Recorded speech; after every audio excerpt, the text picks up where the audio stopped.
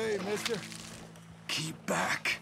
You know, I'm feeling pretty good about life at the moment. Good, good. Be well now. Take care of yourself. Watch yourself. You took me serious, didn't you? Getting all red in the face. We're done then? You really don't like jokes, huh?